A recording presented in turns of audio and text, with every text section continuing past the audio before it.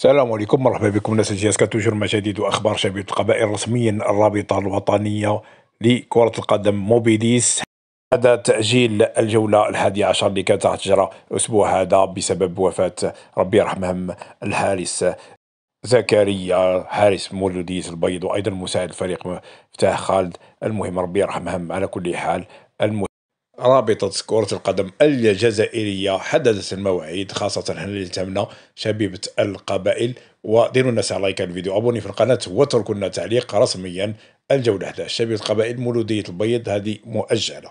راح يتلعبوا اللقاءات الأخرين اللي فيهم آه، المباريات الأخرى اللي تخص الفرق الأخرى ولكن هذه المقابلة أجلت. لوقت لاحق. دوك نعطيكم موعد هذه المباراة لأنه حددتها الرابطة موبيليس لكرة القدم الجزائرية. دوك نعطيكم الموعد هذا ولكن راح تلعب مباراة مولودية الجزائر يوم إن شاء الله. 2 جونفي في ملعب 5 جويلية. مباراة ستكون ربما شبيبة قبائل فيها تحضر جيدا لأنها تقريبا أسبوعين ما لعبتش ولازم على الأقل على الأقل مباراة ودية في هذه الفترة قبل هذه المباراة.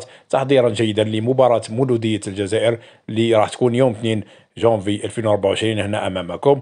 من بعدها شبيبة قبائل تستقبل جمعية شلف أو أولمبي شلف يوم 6 جونفي 2024 في ملعب أول نوفمبر. في الديار أيضا شبيبة قبائل راح تزيد تسافر إلى الثورة. مباراة صعبة أيضا يوم 13 جونفي يعني موعد كبرى ومواعيد تضع فيها شبيبة قبائل أهدافها المسطرة يوم 13 جونفي 2024 مع الثورة في الثورة في بشار. بعدها لهنا تولي مباراة البيض اللي هي ربي يرحمهم يعني اللي ماتوا لهم يوم 16 جونفي 2024 ما في يوم الثلاثاء نعم يوم الثلاثاء 16 جونفي 2024 مباراة المتأخرة لشبيبة القبائل اللي هي مباراة البيض.